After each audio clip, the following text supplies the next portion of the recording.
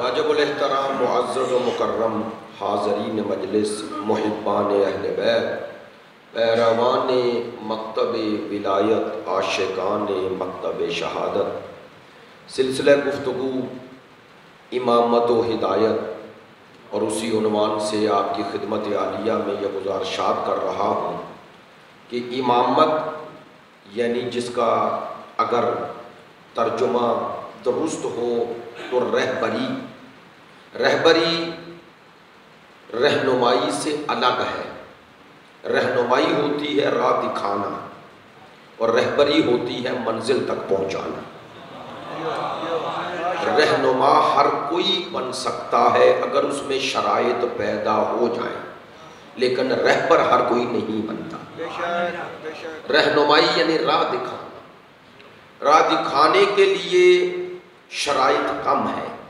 मंजिल तक पहुँचाने के लिए शराइत सख्त है। क्यों सख्त है? इसलिए कि उसने दो काम करने हैं। एक, मंजिल तक पहुँचा वही सकता है जिसे मंजिल की शनाख्त हो। और दूसरा, मंजिल तक पहुँचाने के लिए वो राह का इंतखाब करे जो मंजिल तक पहुंचाती है।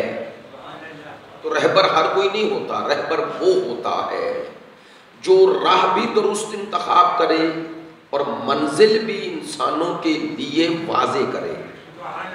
इसलिए अल्लाह ने कुरान मजीद, फ़ुरक़ान हमीद में हज़रत इब्राहीम सलाम को नबूवत और रिसालत के बाद मनसब इमामत अदा किया है। पर यह कोई हमारी बनाई बात नहीं है, कोई खुद साख्ता दलील नहीं।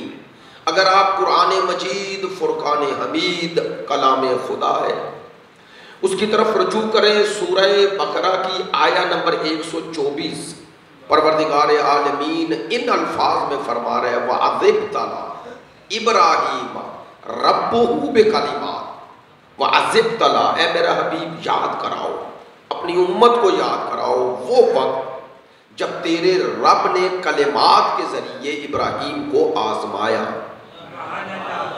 आमाशाला मुतवजे हैं। आजमाया, आजमाइश के बाद इमामत का ऐलान हो रहा है। और आप जानते हैं, किसी मनसब की, अजमत की एक दलील ये होती है कि उसे हसूल के शराइत हदूद और कयूद हैं क्या? ऐसा है या नहीं? आपने अगर अपने ऑफ़िस में एक आम इंसान को रखना हो तो उसके लिए हदूद भी आम है। जितना मनसब बढ़ता जाए, उतनी शराइत बढ़ती जाती है। परवरदिगार ऐलान कर रहा है, तेरे रब ने आजमाया। सोचें, वो मनसब कितना बुलंद है, जिसे अता करने से पहले इम्तिहान का ऐलान हो रहा है। तो पहला मरहला ये है कि अल्लाह ने इम्तिहान के बाद मनसब का ऐलान किया।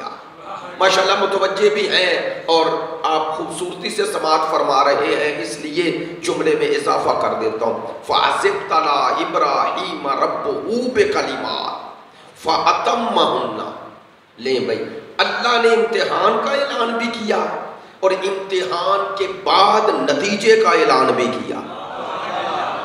फ़तम हमने जो आजमाइश और इम्तिहान में इब्राहिम को मुबतला किया। इब्राहिम सलाम ने सब्र इस्तकामत के साथ और ईमान की बुलंदी के साथ इस तरह इम्तिहान को सर किया कि मैं परवरदिगार ऐलान कर रहा हूँ फ़तम यानी उसने वही नतीजा हासिल किया जो मैं चाहता था। ऐसा ही है। पर देखे बाज़ात वालदेन हूँ इस हूँ। जो बुज़ुर्ग होता है, बुज़ुर्ग होता है, वो जब बच्चे इम्तिहान देते हैं तो वो ज़रूरी नहीं बच्चा उसी तरह इम्तिहान में वही मार्क्स ले, वही नंबर ले जो बुज़ुर्ग चाहता है। ऐसा ही है। लेकिन वो फिर भी उसको सराह देता है कि बेटा उतने नहीं ले सके वो फिर भी सराह देता है। ऐसा है या नहीं? हम जो बुज़ुर्ग हैं, जानते हैं कि जब बच्चे आपके मतलूबा नंबर नहीं लेते तो आप दो तरह का रवैया है। अलबत् ये रवैया गलत है। बच्चे की सरजनश करना, उसको ज़्यादा, उसको दिल बर्दाश्त कर देना, आइंदा उसकी तरक्की रोक देना नहीं। ये गलत है रवश के अगर बच्चे ने आपके मतलूबा नंबर नहीं लिए, आप उसकी सरजनश करें। हाँ नंबर ले लीजिए, मेहनत की और आप माशा मुझसे बेहतर जानते हैं। मुझे इस बताते हैं जिनके तजर्बे हैं तीस तीस साल। वो कहते हैं, सर, नंबर लेना बच्चे की काबिलियत की दलील नहीं होती। हर जगह। क्यों? कहते हैं, बाद बच्चों का रट्टा ज़्यादा होता है। वो आखिर इम्तिहान में रट्टा लगा के नंबर ले लेते हैं, लेकिन उनके अंदर काबिलियत नहीं होती। बाद काबिलियत होती है, इम्तिहान की अपनी रवश होती है, जो बच्चे को सिखाई नहीं गई। ये बातें इस बताते हमारा चूँकि शौक है एजुकेशन से बताते हैं तो याद कर लेते हैं। मसलन मेरे बेटे ने जब एफ़ एस सी तो ये तो वो बता रहे थे कि बच्चे पे कभी ये सख्ती ना लगाए। इतने नंबर इतने नंबर, उसे कहें, अपने अंदर काबिलियत पैदा करो।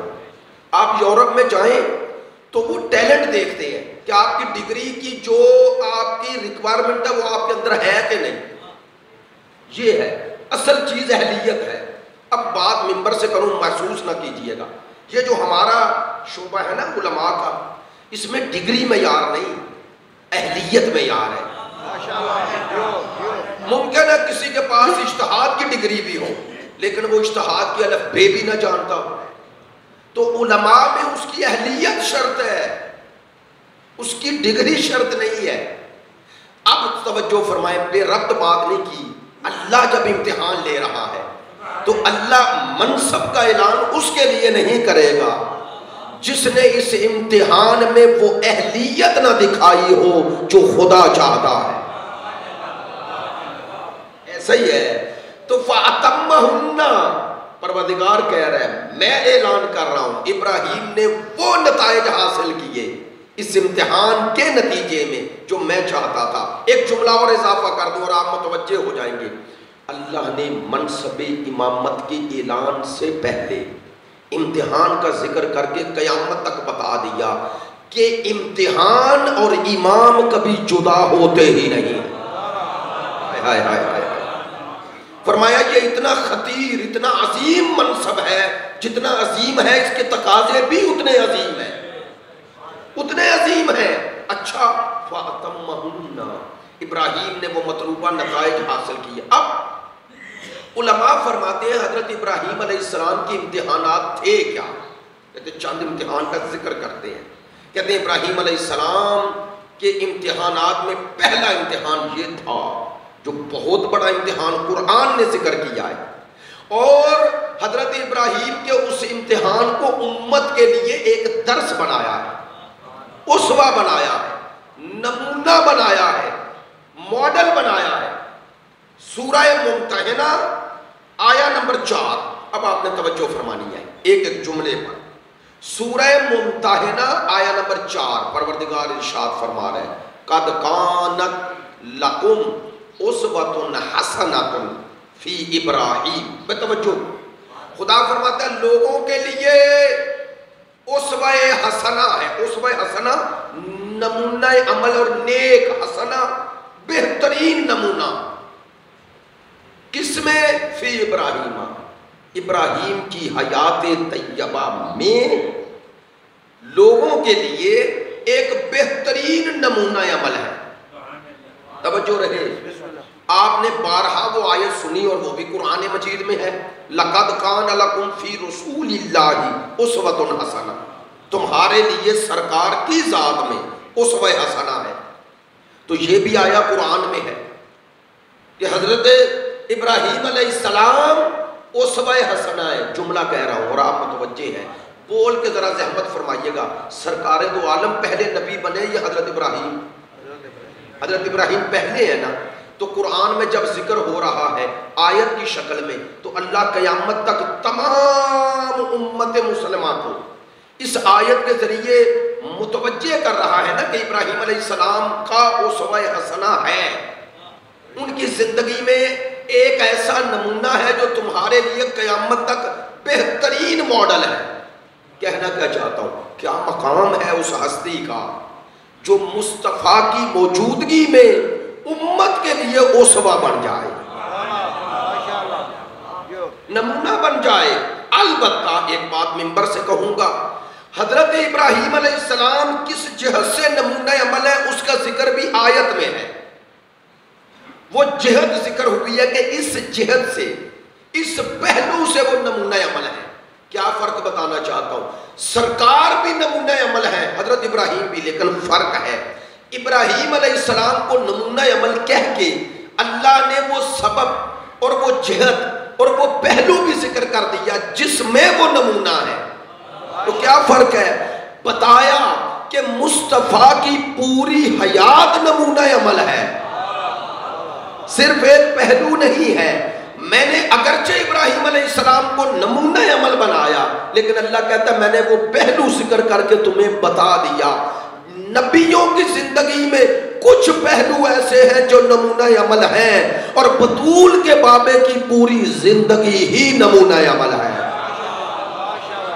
बाबा से गुलाम सलावा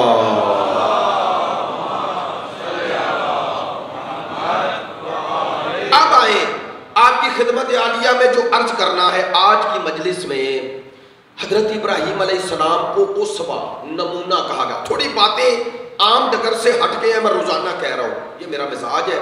मैं बातें रवायती नहीं करता, रवायती नहीं करता। गैर रवायती बात की जाए तो मज़ा है। सुनी सुनाई बातें दोबारा बार बार बार बार सुनाई और बार बार सुनते आए तो क्या मज़ा है?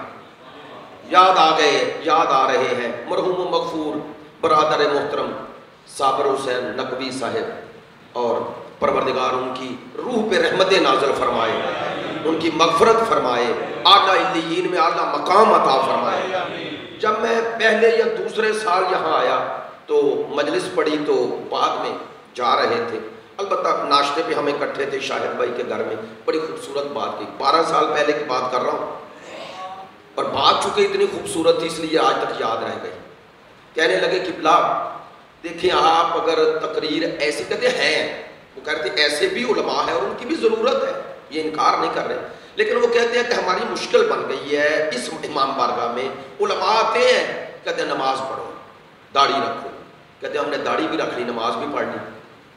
इससे आगे फिर क्या? अब सुने उन्हें तो क्या सुने? वो वही तबलीग कर रहे हैं जो हम कर रहे हैं। यार मादरा चाहता हूँ। कम अज कम आप में अक्सरियत को मैं जाती तौर पे जानता भी हूँ मैं जानता हूँ आप नमाजी हैं। हैं या नहीं?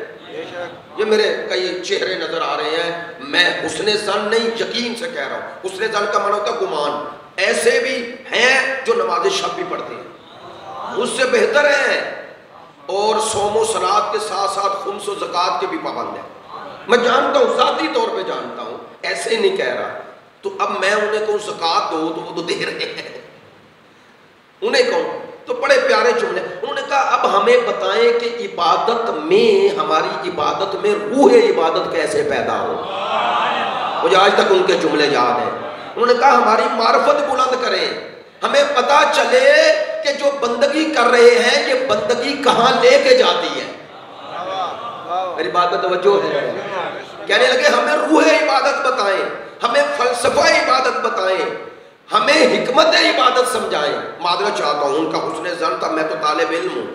वाकन उलमा का काम ये है, ऊपर ले जाए। मार्फत बुलंद करते जाएँ, दर्जे बुलंद करें।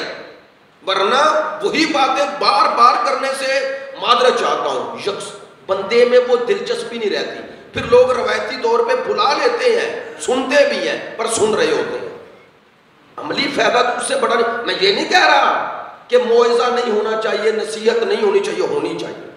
बार बार होनी चाहिए। चूँकि इसमें तकरार ज़रूरी है, लेकिन बातें थोड़ी सी बुलंद भी होनी चाहिए, ताकि पता चले। देखिए नमाज़ दो रकत ही है, एक आलिम की भी और एक आम शख्स की भी, लेकिन दोनों का असर एक जैसा नहीं। ऐसा ही शाह जी? फ़र्क किस शय ने किया? वो भी दो रकत पढ़ रहा है, वो भी। फ़र्क किया है मारफत ने। नहीं तवज्जो हुई आप पढ़ते हैं ना रिवायात में? रिवायात में पढ़ते हैं। ये रिवायत अहले सुन्नत आलिम ने लिखी है। अहले सुन्नत आलम। मुहैदीन इबन अरबी ने। कहते हैं कि रिवायात में है, रिवायात में है कि आपके और मेरे छठे इमाम। कहते हैं नमाज़ पढ़ रहे थे। इमाम जब यहाँ पहुँचे ना, यहाँ ईया का ना बुदो वही का नस्ताई मुस्तहबी नमाज़ हो। पढ़, कहते हैं, इमाम ने इतनी दफ़ा तकरार किया तकरार किया तकरार किया तकरार किया कि अतराफ के लोग देखने लगे। एकदम उन्होंने महसूस किया कि इमाम की रूह नहीं है। कि जिस, इतनी दफ़ा तकरार किया। थोड़ी देर के बाद इमाम ने नमाज़ से फारग हुए तो पूछा, सहाबी ने मोहियद्दीन इब्ने अरबी ने लिखा है और इस वाक्य को दर्ज किया आयतुल्ला हुसैनी तेहरानी ने। तो पूछा क्या मौत कहते हैं जैसे मैंने ईया का नाबुद वैया का नस्ताइन का इमाम कहते हैं। कहते हैं मैं कहता गया कहता गया बुलंदियाँ तय करता गया। मैं मकाम कुर्ब में वहाँ पहुँचा कि मैंने खुदा के तमाम सिफात का जलवा देखा।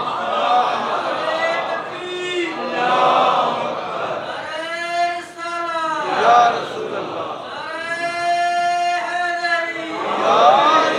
से बुलंद सलावा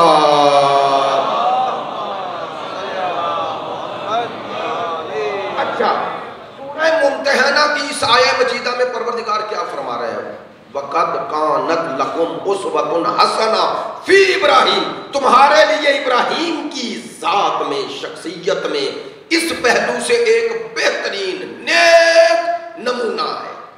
बेहतरीन नमूना अमल है। अच्छा बस। ना। वल्लवीना माहू। और वो लोग भी इस पहलू में तुम्हारे लिए नमूना अमल है। वो लोग माहू, जो इब्राहिम की माइयत में थे। ये लफ्ज माइयत का तर्जुमा नहीं किया, जानबूझ के, ताकि आप मुतवजे हो जाए। आज की गुफ्तगु में यही ज़िक्र करना है कि कितना मकाम बुलंद हो जाता है अगर कोई इमाम की इतात में माइत के मकाम पे पहुँच जाए। मेरी बात पे तवज्जो रखनी है यार। मुतवजे रहना है जिस मोहब्बत से मैं आप तक बात पहुँचा रहा हूँ, दिन रात की मसरूफियात के बावजूद। आप जानते हैं, तीन तो मेरे खमसे ये चल रहे हैं। हर रोज़ एक या दो मजलस, चार चार, पाँच पाँच मजलसें हैं, लेकिन मैं परवाह नहीं करता। तवज्जो फरमाए, जो बात आप तक पहुँचाना चाहूँ। वल्लदीन माऊ, जो इब्राहिम की माहियत में है ये लफ्ज माहियत को, यूँ भी समझे, दोनों आयतों को मिलाता हूँ और फिर आपकी खिदमत आलिया में थोड़ा आज इस पहलू में एक जवाब भी देना है और एक पैगाम भी देना है। ये आया मजीदा है सूरह फत की आखिरी आया, उनतीस नंबर आया। जो आपने बारहा सुनी होगी, नहीं सुनी तो दूसरों से ज़रूर सुनी होगी जुमे के खुतबात में। मोहम्मद रसूल वल्लदीना मोहम्मद अल्लाह के रसूल हैं। वल्लदीना माहू और जो उनकी माइयत में है। माहू उनकी माइयत में। अब लफ्ज माइयत का माना करूँ? क्या है? क्या खुदा कहना चाहता है? खुदा फरमाना चाहता है कि मेरे बंदों की महफिल में आने वाले लोग दो तरह के थे। एक मुसहबत में थे, एक माइयत में थे। और आसान कर दूँ एक वो थे जो अंबिया के पास थे, दूसरे वो थे जो अंबिया के साथ थे। पास और साथ वालों में फ़र्क है। कुरान मजीद में जो नबी की मुसाहबत में चला जाए, सोहबत में चला जाए पैंबर की महफिल में चला जाए, ज़रूरी नहीं कि वो महफिल में जाने के बाद माहियत में भी चला जाए। थोड़ा तवज्जो फरमाना, बातें मुश्किल है। क्या कहना चाहता हूँ? ये आया मजीदा जिसमें अल्लाह ने तारीफ़ व तोसीफ की है। किन की? मोहम्मद रसूलुल्लाह मोहम्मद अल्लाह के रसूल हैं और वो लोग जो पैंबर की माहियत में हैं। वो क्या है? अब पैंबर की माहियत वालों की तारीफ़ हो रही है, मुसाहबत वालों की नहीं। पैंबर की महफल में जाने वालों की तारीफ़ नहीं हो रही। उनकी हो रही है जो पैंबर की इत्तेबाओ इताअत में वहाँ पहुँच गए कि जो मुस्तफ़ा कहते हैं, वही कहते हैं। उनकी पूरी ज़िंदगी इसी के ताबे है। किसके? सूरह फत की आया नंबर उनतीस। मोहम्मद रसूलुल्लाह जो माँ मैयत की मंजिल पे है, वो क्या है? अल्लाह ने कहा पैंबर की माइत में आने वालों की दो निशानियाँ देख लेना। काफरों के मुकाबले पे जाएँगे तो सीसा पिलाई होगी, दीवार बन जाएँगे। मोमिनों में आएँगे तो नर्म खूब बन जाएँगे। मोमिनों पे सख्त नहीं है काफिरों के सामने नर्म नहीं है। मैं जुमला बदल दूँ। मोमिनों के सामने आते हैं तो आजजी और इनके सारी दिखाते हैं। काफिरों के सामने जाते हैं तो सीना तान लेते हैं। जो बरअक्स नज़र आए, मेरी बात पहुँची है, जो बरअक्स नज़र आए, काफिरों के सामने पुष्ट दिखाए, और मोमिनों को आँखें दिखाए, वो माइयत में नहीं है।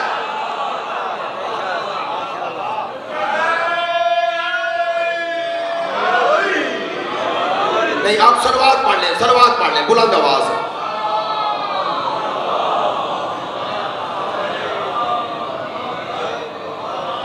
अच्छा ये कोई ये ना कहे, मैं कोई खिताबत कर रहा हूँ, मैं क्यों ऐसी बातें करता हूँ? क्यों ऐसी बातों का हवाला भी दे देता हूँ? आपने अगर इस वाक्य की पूरी तफसील जानना है, अगर आपके पास है, मैंने पिछले साल भी अर्ज़ किया था, तफसीर कोसर हज़रत हजरतलाम मुस्लिम शेख मोहसिन अली नकफी ज़रूर लें। लें अच्छी तफसीर तफसीर नमूना के बाद मुख्तसर और जाम तफसीर लिखी गई, यानी बड़ी सलीस, बड़ी खूबसूरत उसमें आपको नुकात इल्मी मिलेंगे और बहुत खूबसूरत पहलू है। थोड़ा सा आम डगर से हट के लिखी गई है। उसी में से इस आयत के, ये सूरह फत की आयत नंबर उनतीस के जिमन में उन्होंने जो जुमले लिखे हैं वो दोहरा देता हूँ। आप मुतवजे तो हैं? बात कोई सख्त तो नहीं हो रही। मेरी बात पहुँच तो रही है। नहीं, लोग इस दलील को पेश करते हैं। चाहता यूँ आपकी खिदमत में एक पहलू कुरानी। कोई खिताबत नहीं, कोई नई बात इस माना में नहीं, नई बात इस माना में कि जो उलमा ने इस आया के जिमन में दर्ज फरमाया, वो पहुँचा दो। वरना नई बात करना अपने पास से हुनर नहीं। ये भी जहन में रखें। नई बात से मुराद जो उलमा ने की है और हम मिंबर पे नहीं लाते, ये मुराद है। वो तहकीकात उनकी वो लाए, वो लाई जाए। वो फरमाते हैं माहू। हज़रत हजरतुल्लाम शेख मोहसिन नजफी फरमाते हैं फरमाते हैं, जो अलैहि वसल्लम के साथ हैं, ईमान में, तस्दीक में, इस्लामी अहकाम की तत्बीक, और इस दस्तूर को आलम इंसानियत के लिए पेश करने में जो पैम्बर के साथ हैं। साथ है किसकी शय में? ईमान में, तस्दीक में। नहीं, अब नाम लेता हूँ। तजलियात सदाकत में इसी आयत के सिमन में बड़ा खूबसूरत पहलू है। फरमाते हैं माँ मोहम्मद रसूल हैं जो उनके माँ माइत में है। भाई, जुमला जरा आम फहम नहीं, लेकिन तवज्जो फरमाइएगा। वो फरमाते हैं कि नजफी साहब, के यहाँ माबू से मुराद माइत ज़मानी और मकानी नहीं। माइत ईमानी है। भाई, बहुत शुक्रिया, जिन तक बात पहुँची है। आप अपने जैसे दोस्तों के लिए आसान कर देता हूँ। जमानी और मकानी से मुराद ये है, यहाँ उनको ये आयत शामिल नहीं जो पैम्बर के जमाने में और पैम्बर जहाँ थे, वहाँ साथ थे। ना, कहना क्या चाहता हूँ? उनकी बात की वजाहत कर देता हूँ, ताकि आपके लिए और आसान हो जाए और बाद में वज़न भी पैदा हो जाए। लो, जमान और मकान में जो अल्लाह के नुमाइंदे के पास हो, ज़रूरी नहीं, उसे ये अजमत मिल जाए। दो दलीलें देनी है। एक, जो शेख साहब ने दी है, तवज्जो फरमाए। दूसरी दलील इनशाला इससे आगे बढ़ा दूँगा। हज़रत यूसुफ सलाम का वाक्य कुरान में है या नहीं? आप जिंदान में जिंदान में गए। पता है, चले ये जुमला भी अर्ज़ कर दूँ नौजवान भाइयों के लिए। हज़रत यूसुफ जिंदान में इख्तियार गए माशा खुद इंतखाब किया जिंदान बड़ी मेहरबानी। अल्लाह के कल सारे दोस्त मुतवजे और जानते हैं वाक़े को। अब मैं सिर्फ़ इशारा कर दूँ ताकि वक्त ना गुजरे। क्यों जिंदान का इंतखाब किया? कहने लगे, ये अज़ीज़ मिस्र के महल में मेरे इर्द गिर्द आलूदा माहौल है। चूँकि वो औरतें हज़रत यूसुफ को मुतवजे करती माहौल था मिस्र का माहौल उस वक्त यानी जिस तरह आज यूरोप का मादरा चाहता हूँ। एक बद अखलाकी और बद किरदारी की इंतहा पे। और इसको ऐप भी नहीं समझा जाता था। मतलब मर्द और औरत के ताल्लुकात को कोई ऐप नहीं हज़रत यूसुफ अब वो खूबसूरती की इंतहा। ऐसा है या नहीं? भाई जिन्होंने हाथ काट लिए उन्हें पता न चला कितना हसीन है। सुने पता है सूरह यूसुफ को अल्लाह ने आसनुल किसस कहा। है बेहतरीन किस्सों में से बेहतरीन। तो बेहतरीन क्यों है? मादरा चाहता हूँ, इसलिए कि उसमें जुलेखा का ज़िक्र है। नहीं, ये है। इसलिए वो बेहतरीन किस्सा है एक नौजवान, जवानी की, वो कहते हैं पीक टाइम पीक टाइम जवानी का। और खूबसूरत इतना कि औरतें उसे देख के हाथ काट लें और उन्हें पता ना चले इस खूबसूरती में हर औरत मुतवजह मात्र चाहता हूँ ये बात इसलिए मेंबर से कर रहा हूँ वाजे ताकि आपको समझ आ जाए और मुझे भी। उस माहौल में जब महसूस किया, चूँकि हम अम्बिया की इसमत इख्तियारी के कायल हैं तरारी के तो कायल नहीं ना, नबी में गुनाह की तरफ़ मुतवजह होने की सलाहियत है, वरना तो उसकी इसमत की तारीफ़ ही क्या है? वो फरिश्तों की तरह मासूम नहीं, फरिश्तों से भी बुलंद मासूम है। वो गुनाह की सलाहियत रखता है, लेकिन गुनाह की तरफ़ मुतवजह नहीं होता। क्यों नहीं होता? चूँकि वो दायमन अल्लाह के हुजूर रहता है। तवज्जो रहेगी माशाल्लाह मुतवजह है, मेरी बातें जिस तरह चारों पहुँच रही हैं। अब हज़रत यूसुफ इस माहौल में, भाई सब सुनो, आज का माहौल, सोशल मीडिया, हमें मादरत चाहता हूँ, कोई एक मैसेज आ जाए, हमारे दिलों में वसवसे पैदा हो जाते हैं। मादरत चाह नौजवानों के लिए कह रहा हूँ, बुज़ुर्गों से मादरत के साथ। तो हज़रत यूसुफ को तमाम औरतें मुतवजे अब जब महसूस किया ना इस माहौल में, इस माहौल में नहीं रह सकता, पता क्या दुआ की? या अल्लाह मुझे जिंदान दे दे। इस माहौल से निकाल दे। बड़ा प्यारा जुमला कहते हैं, हज़रत मोहसिन किराती साहब। फरमाते हैं, हज़रत यूसुफ के जुमले का मकसद ये था, या अल्लाह, नफ्स की कैद से जहरी कैद बेहतर है। हाय हाय हाय हाय। चाहते थे कि अगर चारों तरफ़ आलूदा माहौल है और इस आलूदा माहौल में रहना मेरे लिए मुश्किल है, जिंदान में रहना आसान है। ये है यूसुफ अलैहिस्सलाम। यानी क्या दर्श है? कि हज़रत यूसुफ से खूबसूरत कौन होगा? वो छोड़े आयमा के बैत के घर की हस्तियाँ। बाकी कौन है जो दावा करे? इस खूबसूरती को क्या कहना चाहता हूँ? उन्होंने अपनी खूबसूरती को अपनी इफ्फत पर कुर्बान कर दिया। इफ्फत को खूबसूरती पे कुर्बान नहीं किया। पाकदामनी को कुर्बान नहीं होने दिया। इसलिए असरुल के अल्लाह ने कहा कि कयामत तक के जवानों के लिए यह नमूना अमल है। ये नमूना। गुनाह का मौका ना मिले, अल्लाह की रहमत है। मैं ये नहीं कह रहा। लेकिन मुझे अद ईरान के बहुत बड़े इल्म अखलाक के मुदर्रस हैं आगे सद्दीकी, उलमा जानते हैं। बहुत खूबसूरत दरस अखलाक देते हैं। और जब तक उनका दरस अखलाक रहता है, लोगों में गिरिए की कैफियत रहती है। बहुत जबान में अल्लाह ने तासीर रखी है। आगे सद्दीकी कहते हैं, गुनाह का मौका न मिलना रहमत खुदा। है लेकिन कहते हैं, अगर गुनाह के मौके हूँ, छोड़ देना, ये सिर्फ़ कमाल नहीं, ये जहाद है। मेरी बात बतवजो है। ये जहाद है।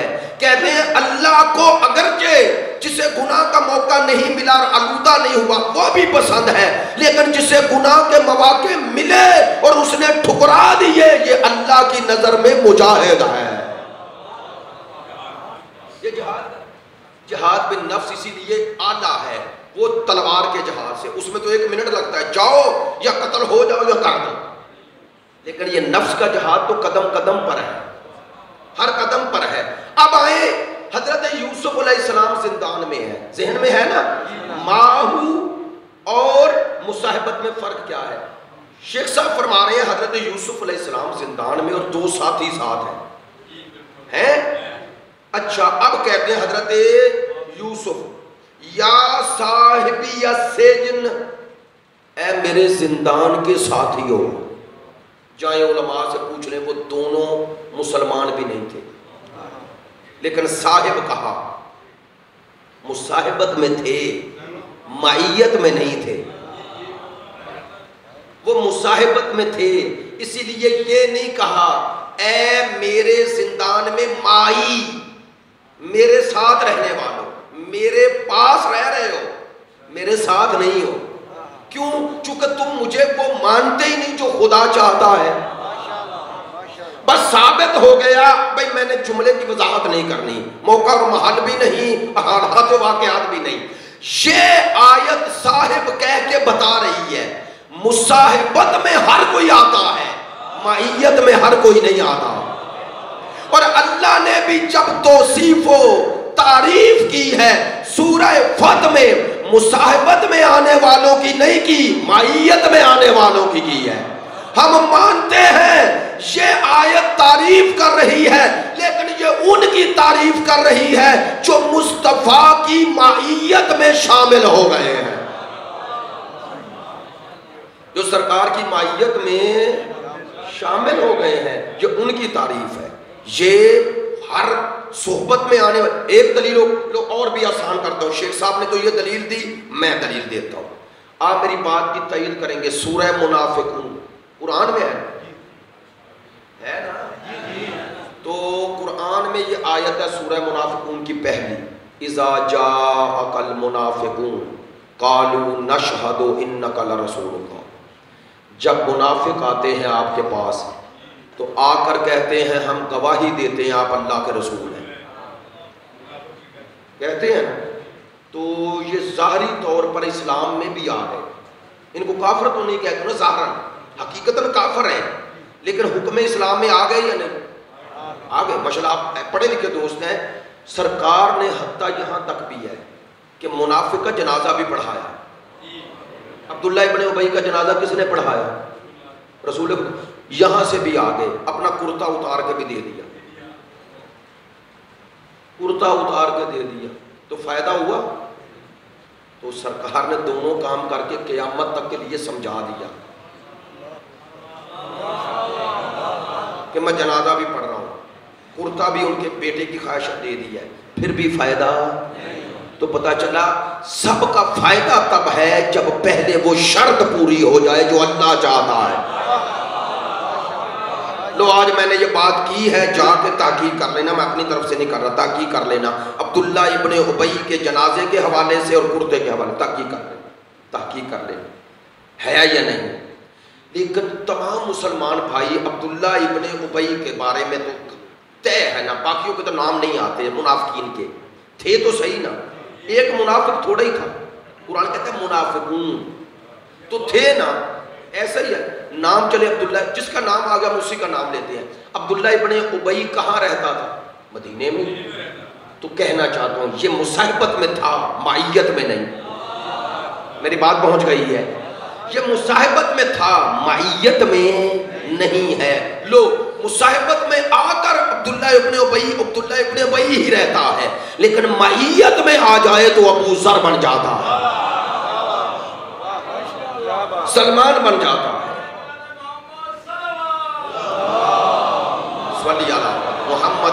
वाली मोहम्मद। लो, एक पहलू हो गया आपके पास ये दलील मैंने कुरानी दे दी। कोई खिताबत नहीं। अब आपसे और बात कर रहा हूँ, अपने और आपको शामिल करके। अल्लाह ने इस आयत में मोहम्मद रसूलुल्लाह माहू, क्या हम सबको खुशखबरी दी है? सुनो, बताया कि मैंने माहियत मुस्तफ़ा मांगी है, मुसाहिबत नहीं। क्यों? अल्लाह कहता है, इस मुस्तफ़ा की उम्मत ने जाना है क़यामत तक। अगर मैं माहियत से मुराद सिर्फ़ सरकार के दौर के लोगों को आयत में शामिल करूँ तो जो बाद में आ रहे हैं, उनका कसूर क्या है? आपने तवज्जो नहीं फरमाई है। उनका कसूर क्या है?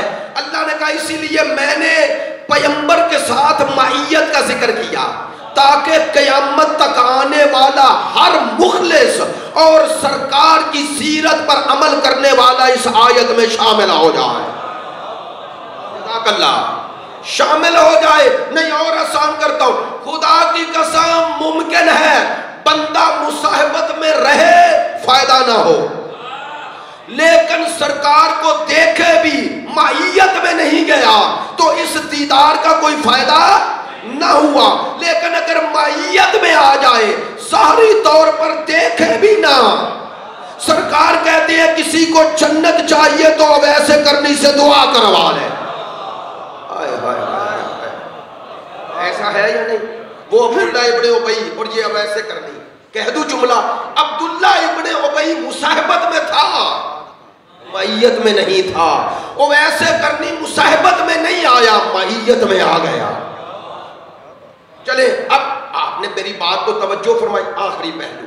ये आय मजीदा कुरान मजीद में पढ़ दो, या अय्युहल्लदीन आमनुत्तकुल्लाह वकूनू मा सादिकीन। सादिकीन की भी माइयत में जाना है। सिर्फ़ सादकीन के पास जाने से कोई सच्चा नहीं बन जाता। जब तक सच्चों की इतबा और पैरवी ना करे तो अब दायरा वसी हो गया ना। पहले सरकार थे, अब सरकार के साथ सच्चों की ऐड हो गए। तो ये सच्चों में दूसरों को छोड़ो। आपके नज़दीक इन सच्चों का मिस्ताक बारह है या नहीं? और उनमें बारहवा है या नहीं? क्या कहना चाहता हूँ? आज भी मैं और आप, अगर जुमे का दिन है, उस बारहवें की माइत में जाना चाहते हैं तो क्या करें? ग्यारह की सीरत पे अमल करो, बारहवें की माइत में आ गए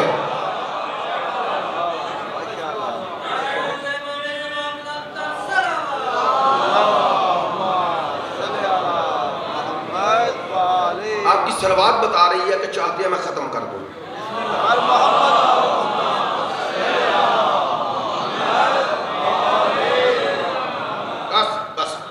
ऑलरेडी चालीस मिनट से ज़्यादा गुफ्तु हो गई। बस। तवज्जो हम बारह की माहियत में आ सकते हैं। क्यों? अल्लाह ने अगर हमें उनके ज़मान में पैदा नहीं किया तो उसकी हमत लेकिन उसने कहा ज़मान मकान में उनके हमरा नहीं रहे हो। फिर भी तुम्हें मैंने फजीलत से महरूम नहीं किया। हाय हाय। तुम उस फजीलत को पा सकते हो, क्या करो? कहा, वही करो जो उस दौर में माहियत में आने वालों ने किया है। जुमला बदल दू। कहा, वही करो जो अबू सर ने किया। वही करो जो सलमान ने किया। वही करो जो मिकदाद ने किया। वही करो जो अम्मार ने किया। वही करो जो मालिक अश्तर ने किया। वही करो जो हबीब ने दिया। और अगर तुम्हारे अंदर अभी ये जुर्रत पैदा नहीं हुई माइत में आने की कोशिश करो। हुसैन तो शबे आशूर भी कबूल कर लेते हैं।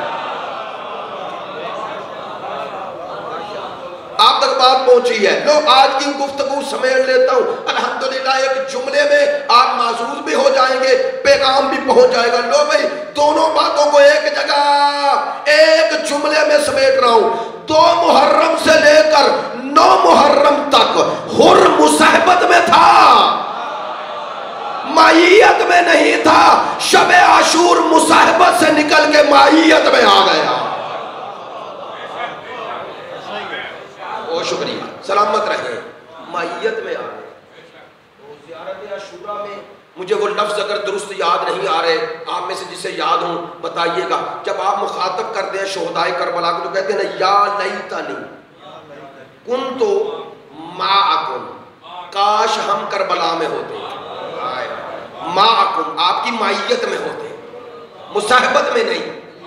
तवज्जो है, और क्या होता? फनफोदो फौजन अजीम।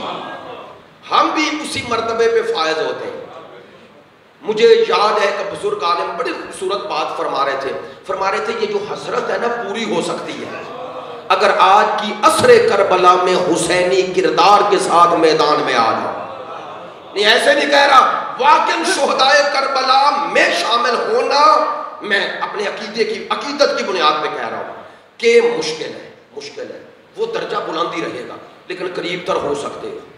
हो सकते हो। मैंने इसलिए कहा कि वो दर्जा हुसैन ने बुलंद किया है। वो उन्होंने बुलंद किया है। इतना दर्जा उनका बुलंद है कि आप यही दुआ करते हैं आप ये दुआया जुमला है शाही उन तो माकुन काश हम आपकी माइत में होते। फनफूद फौतन आजीमा हम भी उसी मकाम पे फायज होते जिस पे आप हो ये सिर्फ़ हसरत नहीं अपनी ज़िंदगी पूरी को अगर करबलाई बना दें या जिस कदर मुमकिन है। अब पूरी की डिमांड तो है लेकिन मायूस थोड़ा ही होना है जिस कदर मुमकिन है। करबलाई राह में चल पड़े करबलाई फ़िक्र में चल पड़े करबलाई हदफ के करीब अपने आप को कर लें घबराएँ नहीं मायूस ना हो ना उम्मीद ना हो। तवज्जो है? ना उम्मीद ना हो। बस भाई आपकी जहमत खत्म।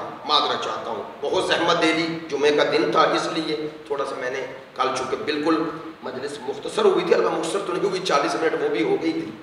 तो हम इस राह करबला में, इस राह करबला में जो बढ़ रहे हैं ना तो हमारा ये सफ़र बेहदफ नहीं। पढ़े लिखे दोस्त तवज्जो फरमाओ, बेहदफ नहीं। आप ये करबलाई सफ़र की नुकता कमाल है जहूर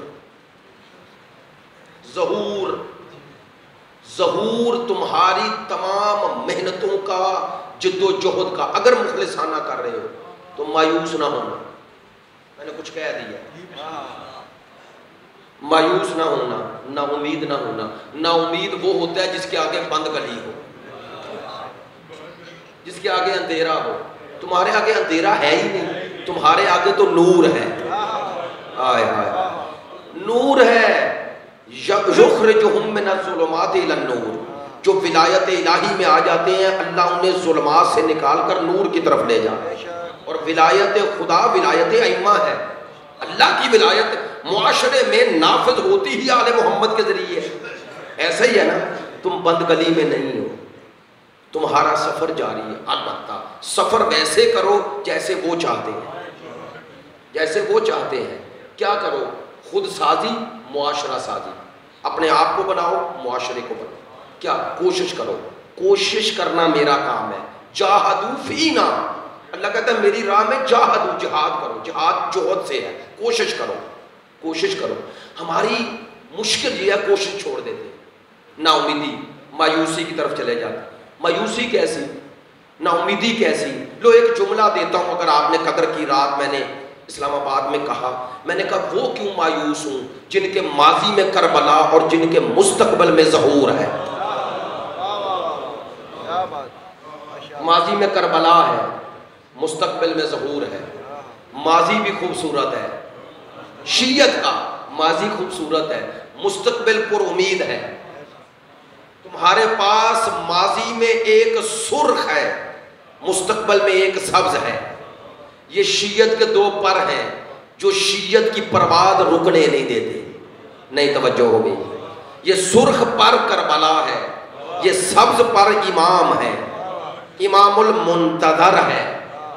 ये दो पर हैं, करबला तुम्हें समझाती है कि हर दौर में दीन के लिए, कुर्बानी के लिए तैयार रहो।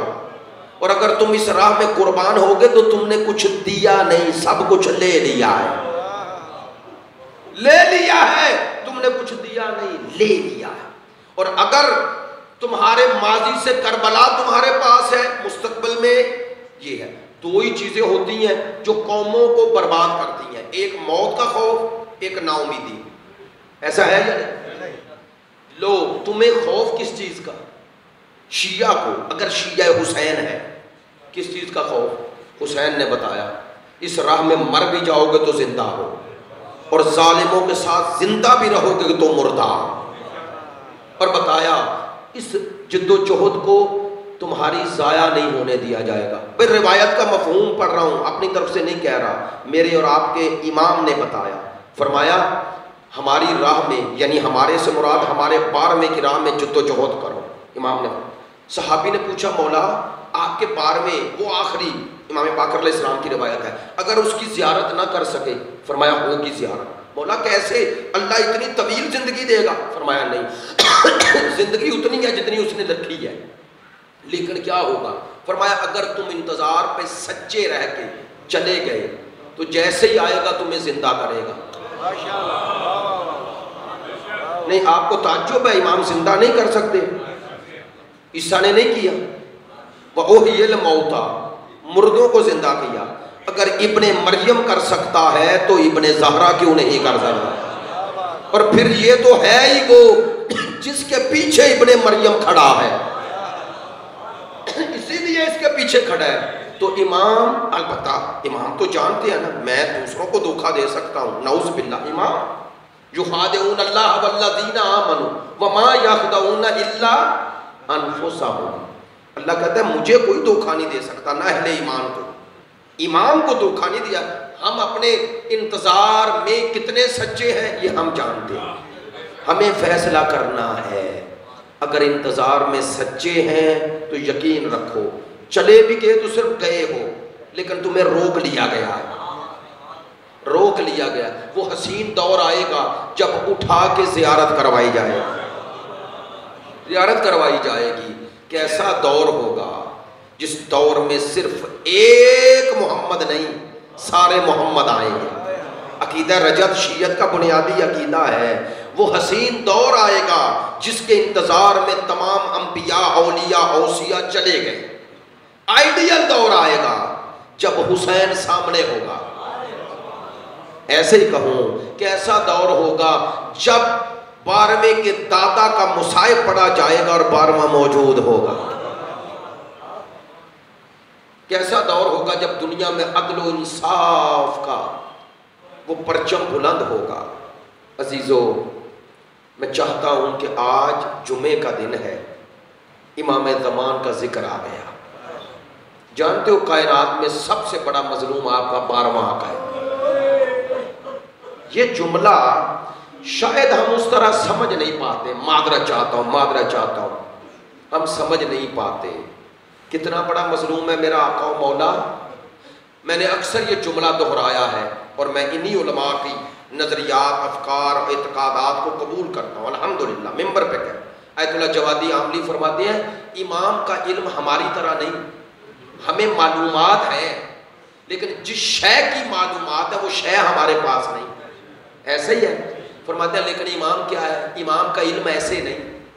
इमाम जब कस्त करता है तो अल्लाह वो शय उसके करीब तर कर देता है। यानी जैसे तवज्जो मासूम करता है, इमाम करता है तो हिजाब हट जाते और वो शय खुद हाजिर होती है, जब इमाम कस्त करे। क्या कहना चाहता हूँ? इसी से वो इस्तलाल करते हैं। कहते हैं, इमाम जमान बहुत बड़े मजलूम हैं। क्यों? कहते हैं, आप करबला सुनते हैं। और इमाम तमसीली शक्ल में करबला देखते हैं। नहीं, तवज्जो नहीं होगी। मादरा चाहता हूँ। मिंबर पे इस तरह की बातें होती नहीं हैं। इमाम जमान कितने बड़े मजलूम हैं, वो करबला देखते हैं। कहूँ जुमला, जब अकबर जीन से ज़मीन पर आता है और सीने में नेज़े की अनी है। मैंने ज़िक्र किया है मैंने आपको नेज़े की अनी ज़िक्र किया। आपको दिखा तो नहीं ना सका। यार सोचो, अगर आप सुन नहीं सकते तो वो देखता कैसे? नहीं नहीं, जुमला सुन लेना। आज मैं मुसाहिब कोई और पढ़ना चाहता था, लेकिन यही दो जुमले। जहमत ख़त्म। जुमला दोहराऊं, आप और मैं सुनते हैं। अकबर के सीने में नेजे की अनी है। वो देखते हैं। बारवा देखते हैं। नहीं, जुमला आगे बढ़ा रहा हूँ। मैं सुनता हूँ कि कमरे बनी हाशम के सर में गोर्ज लगा। और वो बिन बाजुओं के दौड़ते घोड़े से मुँह के बल गिरे। मेरा सुनना कुचा अगर आप सब सुन के गिरिया कर रहे हैं तो सोचो जब बारहवें को ये मंजर दिखाया जाता है। नहीं नहीं, इस जुमले की अजमत और मजलूमियत का ये पहलू है। इसीलिए जब बशीर मदीने आया था याद है, उलमा मौजूद हैं। बशीर मदीने आया था तो ये सदा बुलंद की थी। या अहला यसरब ला मकाम लकुम। मदीने वालों, मदीना रहने की जगह नहीं रहा। क्यों नहीं रहा? कहने लगा, मैं जानता हूँ मदीने की अजमत को, लेकिन क्यों कह रहा हूँ? कहने लगा, मदीने की गलियों में खेलने वाला हुसैन था और लाशा बे गौरव कफन पड़ा रहा। ये जुमला कहा बशीर ने और दोहराता दोहराता कमरे रसूल के पास आया। अब खड़ा होके बनी हाशम के घरों की तरफ़ निगाह की और रोते रोते कहा, कहने लगा, बनी हाशम का कोई मर्द जन ये सुन के मर ना जाए कि जुल्म यहाँ खत्म नहीं हुआ। कहने लगा, बशीर कहने लगा, हुसैन इबन अली का बेगौरो कफन लाशा था और बतूल सादियाँ थी और सर बहराना था। कभी कूफे का बाज़ार था, कभी शाम का दरबार था। ये कहना था, बशीर कहता, मेरी पुष्ट से एक सदा आई। कहता सदा किसी बीबी की थी और बीबी ने बुरका पहना हुआ था। मुझे कहने लगी, मुनादी क्या कह रहा है? मैंने कहा, बीबी जो कह रहा हूँ सच है। कहा, बता जब ये सब कुछ हुआ, अब्बास कहाँ था? बीबी, मैंने सुना है अब्बास हुसैन से पहले जीन छोड़ गए। कहा, पता अब्बास ने कैसे जीन छोड़ी? बीबी, मुझे पता चला है अब्बास के सर में गुर्ज लगा। ये कहना था। बीबी ने कहा, मुझे पहचानता है? नहीं बीबी। कहा, मैं उम्मुल बनी हूँ। मैं अब्बास की माँ हूँ। बीबी, आपको आपके चारों बेटों का पुरसा देता हूँ। बीबी ने कहा, पुरसा न दे, तूने मेरे अब्बास के बारे में क्या कह दिया? बीबी क्या कहा? कहा, तू कह रहे अब्बास के सर में गुर्द लगा, तू करबला में था नहीं, कबूल कर गया। मैं कबूल नहीं करती। बीबी क्यों कबूल नहीं करती? सुनेंगे बीबी ने कहा, मेरी आगोश का बाला है।